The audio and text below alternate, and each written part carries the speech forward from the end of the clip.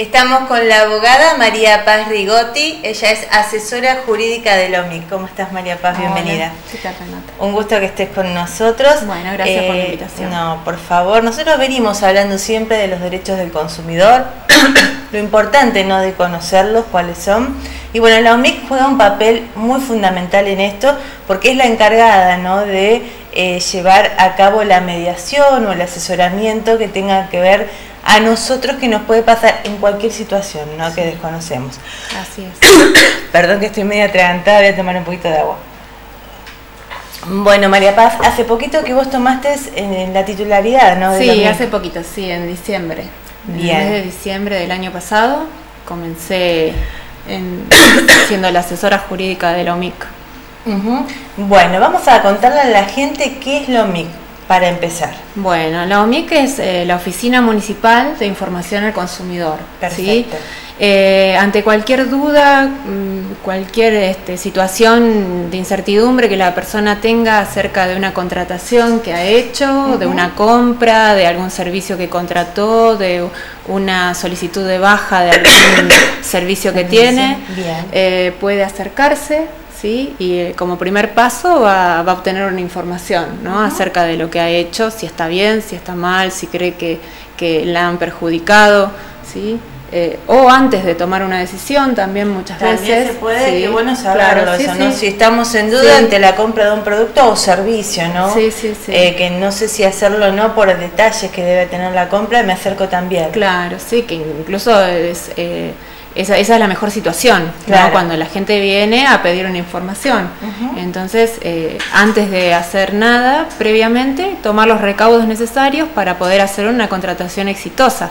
Bien, sí. bien, muy importante eso saberlo. Entonces, me puedo acercar a la MIC ante cualquier problema que yo veo que tengo, que una empresa no me responde con un servicio. algún servicio deficiente, eh, sobre alguna garantía que no, no, ha respondido. Claro. ¿Sí? O he comprado algo y no, no resulta eh, útil a los fines para los cuales el objeto o me quiero dar de baja, ¿no? Y lamentablemente los servicios a veces no nos toman sí, Sí, no, no es muy complicado. Sí, de hecho hemos tenido un montón de reclamos desde que yo estoy. Eh, hemos tenido un montón de reclamos para poder eh, solicitar la baja de algunos servicios. Incluso hemos tomado medidas eh, este, con, algunos, con algunas empresas proveedoras puntualmente a raíz de la cantidad de denuncias. Bien. Entonces, eh, muchas veces comenzamos con una investigación que ponemos en marcha nosotros mismos a raíz de, ya te digo, nuestro medidor es la gente. La gente, claro, más gente se acerca por, un, por una cosa que hay problemas, Sí, sí, sí, sí, tal cual. Entonces, eh, cuando recibimos eh, cierta cantidad de denuncias, ahí nos ponemos en marcha y es como iniciar una denuncia, pero de oficio. ¿No? Nosotros mismos iniciamos una investigación. En ese caso, la primera medida, por ejemplo, que hemos tomado con estas empresas que, que, son difíciles al momento de, otorgar la solicitud de baja, Bien. Eh, es pedir una, se lo cita una audiencia informativa. ¿No? Bueno, les preguntamos acerca de, eh, por ejemplo, qué funciones cumple la sucursal que tienen en nuestra ciudad, eh, qué tipo de operaciones comerciales se pueden realizar allí, eh, si la persona puede contratar ese servicio en esa sucursal, qué medios tiene a su alcance para poder dar de baja ese servicio, si hay un teléfono disponible que uno pueda llamar desde el local, si hay atención personalizada para la persona. Eh, si eh, puede presentar un escrito, una nota con la solicitud. Eh, bien, eso es la primera medida que nosotros tenemos, ¿no? Como un acercamiento a la empresa y pedir información. Y luego seguir, ¿no? Avanzar en esto. hasta podríamos también en algunos casos hacer inspecciones. Claro, sí. Hacer inspecciones y luego evaluar la conducta de la empresa para ver si continúa de la misma manera. O si revierte su conducta y ofrece realmente posibilidades al consumidor para que pueda realizar la baja del servicio. Nada más ni menos que nuestro derecho, ¿no? Porque recordemos que cuando no nos toman las bajas sigue corriendo las eh, Exacto, los pagos, los cobros, eh, lo cual lleva intereses. Exacto. Eh, entonces ya vemos el cumplimiento de las obligaciones. por este tema también nosotros en la OMIC hicimos una nota tipo de eh, solicitud de baja de servicio. Ah, bien, ya. Sí, entonces cuando la gente se, se, acerca porque tiene problemas, le llegó una tarjeta que nunca pidió o eh, quiere dar de baja un débito automático, que tiene algún servicio que eh, está, no está conforme o quiere también solicitar la baja de ese servicio, eh, hemos hecho una nota tipo y la vamos adaptando a las distintas situaciones. Qué bueno. Eh, en, esa telefonía móvil me imagino que por ahí también cumple la función, ¿no? También, sí, sí, telefonía móvil también. En esa nota tipo eh, se transcriben los artículos de la ley para que la gente los conozca. Claro. Y obviamente que cuando la gente conoce sus derechos y conoce la ley tiene más fuerza para poder eh, solicitar lo que quiere, lo que, le conviene en este momento. Eh, sobre todo en momentos que por ahí la gente está cuidando un poco más los gastos, entonces bueno, es más consciente por ahí de los consumos que tiene y empieza a organizarse. Bien, bien, muy importante esto, así que acercarse a la OMIC es gratuito todo, ¿no? Es gratuito, sí, sí, todos los trámites son gratuitos y son personales. Eso es importante, no necesita la persona ir eh, acompañada porque en sí el, procedimiento está a cargo de eh, personas especializadas que conocen la ley. Bien. Y como la ley de defensa del consumidor es una ley de orden público, no se puede dejar de lado, ¿no? Porque las convenciones que puedan, los convenios, los acuerdos, los pactos que puedan llegar a concertar en la audiencia con las empresas. Bien. Siempre la ley va a ser el marco eh, regulatorio para todos los pactos, los acuerdos que puedan llegar a darse en las audiencias de conciliación que son fijadas cuando la denuncia eh, cuando el pedido de información se transforma en una denuncia. ¿Cómo, serían los pasos? Yo voy a la OMIC porque tengo un problema con un servicio. Entonces ahí Sí. ¿Cómo es el, primer Primero vas, eh, te va a atender la persona que atiende al público, sí. que se llama Juan José. Bien. Que es una persona que hace muchos años que está en el tema, así que es muy avesado eh, y tiene muy buena comunicación con la gente. Él lo que va a hacer es encasillar ese problema que la persona tiene, que muchas veces obviamente la persona no sabe que faltaron al deber de información o que hubo publicidad engañosa o que el trato que le propendieron en el lugar era un trato indigno y que eso está eh, penado por la ley. ¿no? También. Mirá cuántas cosas tenemos que ir aprendiendo, María Paz, así que nuevamente invitada para, para ir aprendiendo muchísimas cosas. ¿no? Sí, sí, la verdad que sí. Entonces, bueno, él va a encasillar ese problema, sí, lo va a encuadrar. Y va a, a, fijar una fecha de audiencia, le va a requerir a la persona documentación importante para, sobre todo para acreditar la relación de consumo que lo une con el proveedor. No siempre la relación de consumo tiene que ser algo que ha sido oneroso, ¿sí? algo que ha sido algún servicio pago. A veces la relación de consumo se da de manera ocasional y de forma gratuita. ¿sí? Por ah, ejemplo, te dan, un, te dan algo gratis y bueno, eso es un obsequio, un regalo. Sí, sí, sí. Pero eh, de todas maneras hay relación de consumo. Relación. Mira, también eso eh, Sí, por ejemplo, con los modem que te dan gratuitos, para que vos después contrates el servicio. ¿no? Muchas veces esa, ese obsequio o ese comodato, que sería en este caso un préstamo gratuito de uso, eh, es eh, el inicio de una relación contractual, claro, consumeril, llamaríamos nosotros. Sí.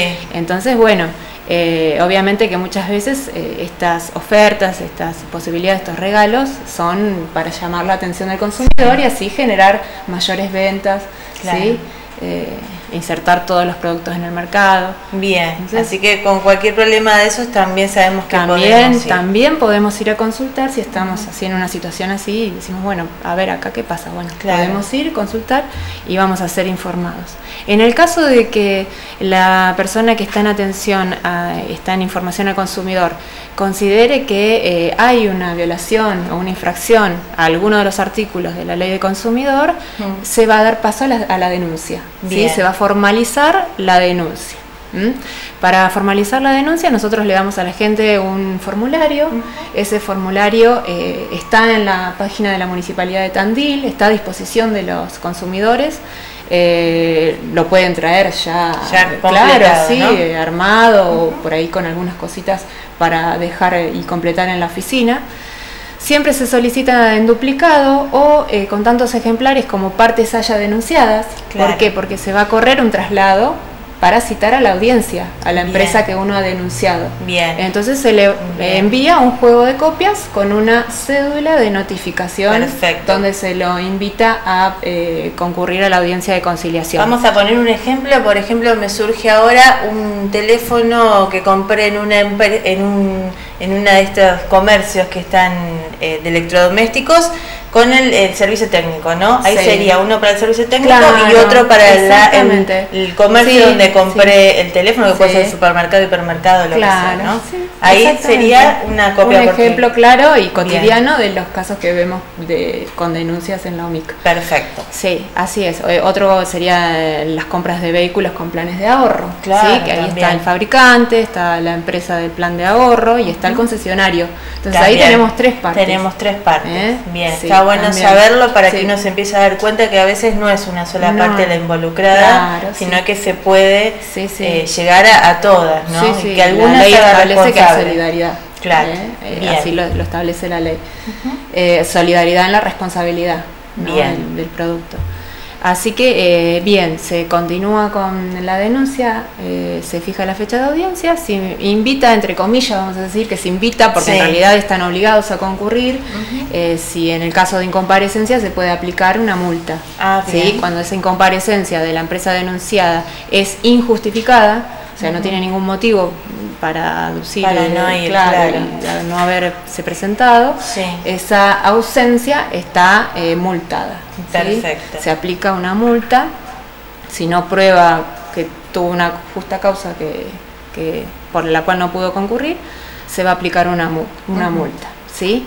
Además de la multa que en todo caso corresponde aplicar en el caso de que se haya infraccionado la ley de defensa consumidor. Bien. Entonces, la de- se abre la instancia de conciliación a cargo de una audiencista, que también es una abogada que hace mu- muchos años ya que está trabajando en la UMIC, eh, por lo tanto también tiene mucha experiencia en el tema. Y eh, se los invita a eh, conversar, a ver si hay alguna solución, alguna alternativa, alguna proposición. Y en algunos casos, te diría que en la mayoría de los casos se logra un acuerdo. Un acuerdo. Se logra Bien. un acuerdo. Ya te dije anteriormente que siempre eh, respetando el marco de la ley. Ese acuerdo tiene que respetar y vislumbrar la ley de defensa del consumidor. Bien. Eh, yo como Mm. eh, damnificada, no tengo abogado, voy sola, ¿no? Ahí me voy a Mm. Sentir eh, acompañada Claro, por la MIC, ¿no? Eso es importante que la gente lo sepa, eso. que el audiencista es un abogado mm, con experiencia en, en- en tomar audiencias de mediación, experiencia eh, en, en el tema del consumidor Bien. eh, y el marco de la ley no permite eh, hacer- realizar acuerdos que perjudiquen al al consumidor. consumidor Exacto. en este caso. Así Sí. que si no tenés abogado, tranquilamente anda que vas a estar bien este, Sí, asesorado, sí, sí, bien. es a gusto del consumidor. ¿sí? Si el consumidor se siente eh, más eh, seguro, eh, más eh, firme con la presencia de un abogado particular que lo Puede ir también. tranquilamente puede venir con su abogado. Perfecto. Sí es importante, y esto por ahí hacemos hincapié en, en la, en la OMIC, de que concurra el consumidor a la audiencia. Sí. Salvo, bueno, obviamente hay casos que por ahí están pasando por algún problema de salud, porque hay- muchas veces tenemos reclamos contra empresas de medicina prepaga Claro. y contra obras sociales. ¿Sí? Entonces, en esos casos, obviamente que eh, tomamos recaudos Por ahí no diferentes. puede ir, claro. y se puede autorizar a una persona para que lo reemplace en la audiencia. Bien. ¿Mm? En el mismo formulario de iniciación, uno puede autorizar a alguien a concurrir si está impedido de hacerlo. Pero siempre está bueno Siempre que vaya bueno, uno, ¿no? Claro, porque en estos temas de consumo, como la audiencia de conciliación es tan importante, Claro. es eh, Más que nada para que no se dilate en el después, tengo que conversar Sí, con otra exacto, persona. porque ahí ¿no? mismo se pueden, Se llegar- puede se pueden dar los acuerdos. sí. Perfecto, bien. Entonces es eh, muy importante la presencia del consumidor en las audiencias. Bien. Sí, y también de la empresa. De la empresa. De la sí, empresa eso- también. sí, la empresa generalmente manda un abogado. Y ¿no? mu- sí, em, sobre todo cuando son empresas grandes que están radicadas en capital. Claro. Nosotros eh, los not- notificamos en los domicilios legales de las empresas y eso también es importante saberlo y a veces la gente lo desconoce porque todo este costo es eh, soportado por el, Sí, por el municipio, por el municipio. la UMIC. Sí, Bien. sí. María Paz, preguntas que me nacen, este, por ejemplo, yo voy por un problema, un servicio, llego a un arreglo, pero esa empresa que actuó mal, Sí. ¿Tiene alguna, alguna consecuencia más que retribuirme a mí el daño que me ocasionó? Eh, llámese una, eh, ¿cómo no me sale ahora el nombre? Una, multa, una sanción. Mm, Mira, si en, si en la audiencia de conciliación se llega a un acuerdo, Bien. eh, no. No, ya está ahí. Queda ahí. Ah, ¿sí? perfecto. Queda en esa instancia y no hay una sanción. Si en, la empre- si en la audiencia de conciliación no hay acuerdo. ¿sí? la persona, el consumidor, queda ya fuera de lo que es el procedimiento administrativo que tenemos, que es eh, un procedimiento eh, que viene dado por ley, por una ley provincial, que es la 13.133, Ujú. que tiene todo un marco ¿no? de, de procedimiento especial. Sí, Eh, entonces, la persona ya queda fuera de este procedimiento, se la notifica ahí en la audiencia, pero la cuestión continúa, ¿sí? Bien. El trámite continúa ya en una tercera etapa, ¿sí? que le podemos llamar la etapa sumarial, en la cual esa conducta de la, de la empresa se va a encuadrar dentro de lo que es al- el- ar- algún artículo o varios artículos de la ley determinados Sí. y se lo va a imputar por esa infracción, se le corre traslado de esa imputación. bien. La empresa muchas veces va a presentar su descargo para defenderse y luego eh, se dicta lo que se llama la resolución, ¿sí? que sería eh, la última palabra. Bien. La última palabra nuestra, digamos, Sí. de nuestro eh, organismo administrativo, porque nuestras resoluciones son, eh, se pueden revisar por un órgano judicial. Bien. ¿m? Que Bien. en el caso nuestro es el eh, juzgado contencioso y, y administrativo que está en la ciudad En la del sur. Exactamente. Bien. Sí. Entonces no queda en la nada, ¿no? Lo importante de esto es, como siempre hablamos Mm. muchas veces en nuestro programa, es empezar a hablarlo nosotros y a pedir que se hagan valer nuestros derechos. Y el primer paso, como siempre decimos, es ir a la OMIC. Sí. A la OMIC no solo tenemos que ir nosotros, sino por supuesto te deben visitar turistas, ¿no? Porque ya hablamos Sí, que en cualquier sí. lugar donde estén siempre Mm. está la OMIC este, para poder ir y hacer valer los derechos, ¿no? Exacto, sí, sí, sí. Si bien no tuvimos un aumento de denuncias en la temporada de verano, digamos que generalmente, bueno, vemos en la calle que hay mucho turista. Eh, gracias a Dios eh, no hemos tenido mucho, eh, no ha aumentado el índice de consultas Bien. en ese sentido, lo que, ¿Crees que lo estamos nos haciendo deja bien? tranquilos, claro, que los eh, empresarios, comerciantes y empresas proveedoras de servicios están actuando, bien. Actuando bien, bien. Nos, nos indica, nos lleva Sí. a pensar eso. Eh, así que bueno, siempre reforzar, ¿no? Tanto para el consumidor como para la empresa, comerciante, proveedor de servicios. Bien. Esto es- esta difusión, esta educación que hacemos en este sentido, Sí. es justamente para que también eh, todas las partes estén informadas. Eh, claro, ¿no? involucradas. Me Y- diste una muy buen, una muy buen pie para darte una pregunta. Un comercio, si yo quiero abrir algo, ¿puedo ir informarme a ver cómo, qué, cómo es eh, las Sí, obligaciones ¿no? que tengo sí. que ejercer, cuáles son, para Bueno. no tener problemas? Sí, eh, está muy buena tu pregunta porque a, a fin del año pasado hicimos una capacitación en lo que es la ley de lealtad comercial. Qué bueno, ¿sí? sí. Que es parte integrante de lo que es la ley de defensa de derechos del consumidor porque establece una serie de, de normas que hay que, que los comercios deben respetar. Claro. Por ejemplo, la exhibición de los precios, Sí. la, eh, las etiquetas de las mercaderías, Sí. eh, precios eh, em, este, eh, Las no- liquidaciones, las ¿no? Cuando están las liquidaciones, sí, los tiempos sí. estipulados, la ley de detalles, muchísimas La cosas. ley de ¿no? detalles también, o sea, son eh, temas que tenemos que seguir, ¿no? Mm. Trabajándolos para poder ampliar Sí. eh, las, eh, las funciones que tenemos. Bien. Entonces, con respecto a esto que vos me preguntabas, hicimos una capacitación y eh, queremos comenzar, ¿no? Tenemos muchas ganas de comenzar con esto. Eh, hay que implementar. gente de muchos comercios, de muchos, eh, muchas No, empresas. eh, no porque la, o sea, si bien eh, se invitó, eh, bueno, yo en ese momento no estaba tanto en la organización, ¿no? Sí. Eh, quizás fue más orientada hacia los funcionarios municipales. Ah, ¿sí? bien, Eh, bien. fue más orientada hacia los funcionarios municipales, eh, miembros de, de funcionarios de la OMIC y eh, inspectores. Claro, inspectores. Claro, que también deben capacitarse. Por supuesto, son los primeros, ¿no? Que tienen que es una, temática, una temática especial. Bien, y ¿Eh? después se va a hacer estos cursos a todos, ¿no? Que es muy importante. Sí, esta difusión es muy importante hacerla también a los comerciantes. ¿no? A veces no, no, no se hacen mal las cosas eh, a propósito, sino a veces pasa que se desconoce, ¿no? Exacto. Vamos a, tirar alguna. Exacto, sí, es que es así muchas veces. Muchas veces. Y con respecto a lo que vos me preguntabas, eh, una de las ideas que proponíamos ¿no? para mejorar estos servicios es que cada vez que un comercio eh, tuviera solicitar una habilitación, se lo invitara a pasar por la OMIC para informarse al respecto del cumplimiento de la ley de la Es más, dentro de la habilitación, para que se lo otorgue, tendría que estar ya eso eh, Por supuesto que, pueden pasar, o sea, por su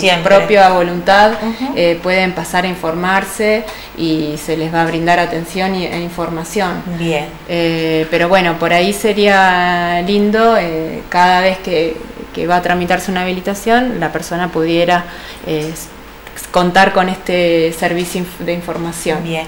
La última pregunta y ahora pasamos a un tema también eh, complicado para todos, que es el aumento del gas este, y esto que hablaste vos, ¿no? de unas demandas colectivas para ayudar a toda la, la ciudad y hablar de una nueva recategorización. Pero quiero hacerte la última pregunta yo que soy de mucho caminar y ando por el centro, por ahí veo que la ley de los precios expuestos no se mm. cumple, que hay muchas cosas que no, no se están cumpliendo. Desde la OMIC, ¿hay inspecciones que vayan o, todavía eso no, se hace o de quién depende? Eso está dentro de lo que es la, el marco de la ley de lealtad comercial. Y es una beta, digamos, que todavía no hemos empezado a aplicar. Entonces, primero lo primero, ¿no?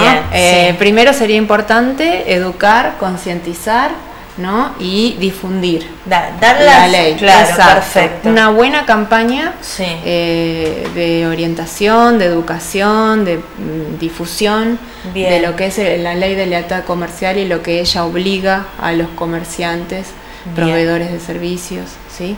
Y luego sí, poder hacer el control desde la OMIC. Perfecto, ¿Mm? porque si, si no se conoce, no se puede ir a sancionar, ¿no? Está bueno ir paso por paso. Si bien la ley, bueno, se presume conocida por todos, sabemos que, pero bueno. que no que no es así muchas veces y, realmente eh, para hacer para lograr bien este trabajo primero tendríamos que cambiar un poco eh, la educación no como siempre vemos y vemos en todos los contextos que la educación es muy importante para todos y bueno una vez hecha bueno después hay otros pasos. Eh, gracias por contarnos todo lo que hace la OMIC poquito no pero ya vamos a ir hablando en otros programas. Y ahora me gustaría hablar del tema del gas no un servicio que ahora se viene el invierno y por supuesto lo usamos y muchísimo eh, se viene un nuevo aumento. ¿Cómo va a ser, María Paz? Sí, bueno, eh, se trató en la audiencia pública pasada, que fue el 20, el 20 de febrero. Eh, se escucharon las voces de las empresas proveedoras, ¿no? solicitando la adecuación de las tarifas en el mes de abril. el último aumento que habíamos tenido había sido en diciembre del año pasado y ya se había este, en la última audiencia pública que habíamos tenido se había pactado esta posibilidad de eh, readecuación de la tarifa. Eh, las empresas proveedoras del gas eh, solicitaron un aumento del 35% de la tarifa y también así lo hicieron las empresas transportadoras del gas, que sumarían un 6% por los gastos que ellos dicen que, que tienen, que tienen en, por supuesto, claro, en el transporte de gas, los materiales que utilizan, etcétera. Bien. Entonces, ese sería nuestro momento Esa es la, claro, la postura, que ya te digo, no es nada decisivo aún, porque las audiencias públicas no tienen una fuerza obligatoria, ¿sí? son debates abiertos en los cuales se invita a las personas que tienen un interés legítimo a eh, plantear su postura. ¿Estuviste ahí en representación? Eh, no, no pudimos ir porque teníamos agenda con eh, la Dirección Provincial de Defensa del Consumidor ah. haciendo una jornada de capacitación. Bien. Así que justo. Pero en otras audiencias públicas sí estuvo sí, sí, sí, sí, sí, no estaba yo porque estaba la doctora Marcela Bairo antes, pero y ella ha, estado presente en las eh, anteriores. Sí, Bien. Entonces, un aumento que empezaría a regir. A partir de abril sería. De abril. Abril de este año. Bien. Eh, se están evaluando fórmulas ¿sí? Eh, aritméticas distintas para ver de qué manera se van a adecuar las tarifas. Claro.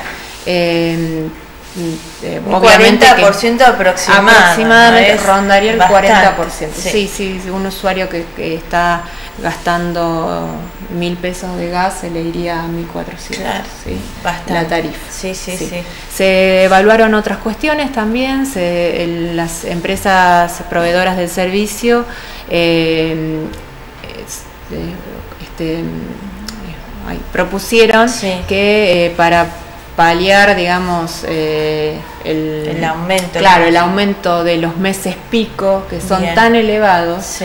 ¿sí? Eh, el usuario pudiera optar por un financiamiento. ¿sí? De del pago de esos, de esos periodos. Como venimos haciendo ahora que lo vamos Claro, como se hizo el diferimiento en su momento, que se, se, postergó el pago del aumento en dos, en cuatro cuotas. En cuatro cuotas. Entonces, eh, sería algo así, pero en una cantidad de cuotas más extensa. Eh, no se habló de, de, qué manera se va a financiar, si, serían cuotas congeladas, si serían cuotas con, algún tipo de interés.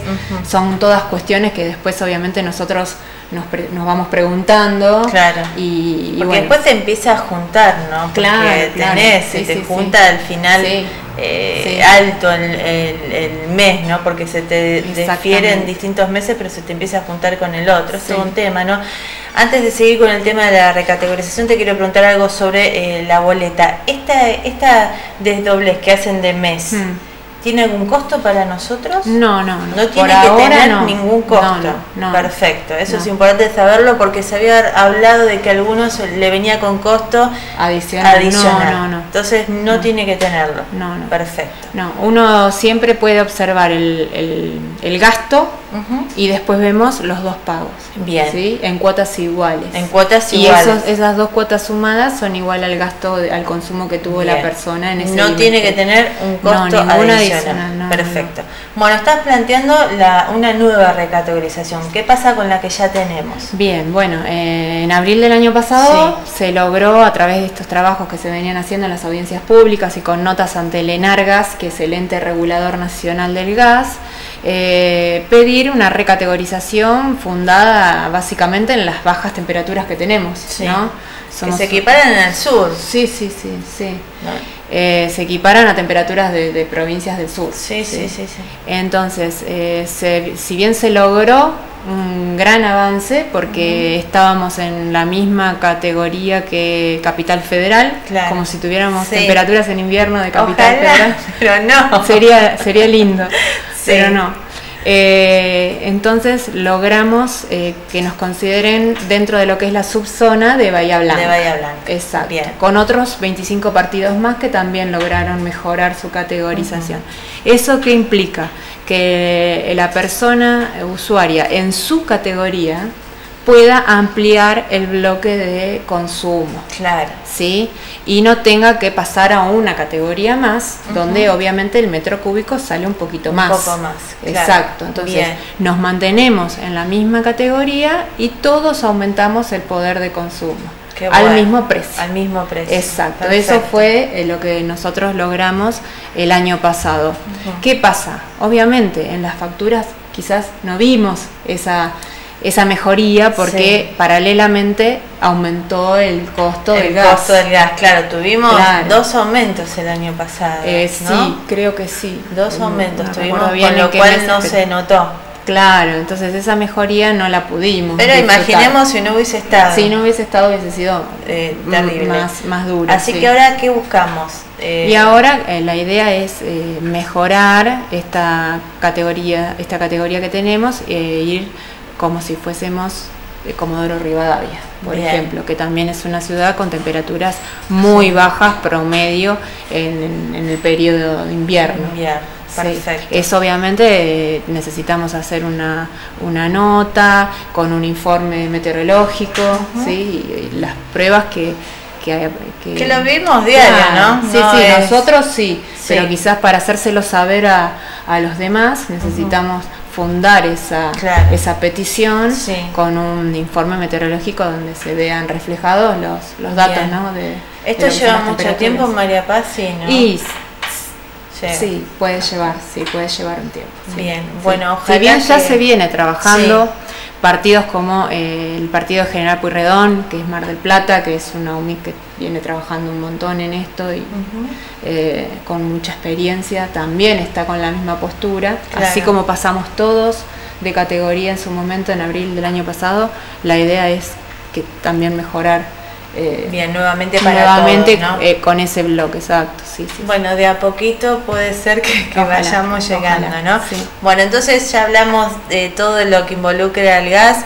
Eh, vamos a dar la dirección del OMIC para que cualquiera que tenga una duda o un problema no se quede con los brazos cruzados, no diga, bueno, ya está, perdí un servicio, perdí un producto, porque la verdad que hay que, hay que hacer un parate, ¿no? Y que las empresas empiecen a comportar como se deben comportar, nosotros también, ¿no? Porque para pedir que se cumplan nuestros derechos también tenemos obligaciones. Entonces, que de las dos partes se manejen correctamente, acercarse al OMIC, ¿no? María Paz, ¿dónde queda el OMIC? Eh, el OMIC queda en Chacabuco 383, eh, planta baja.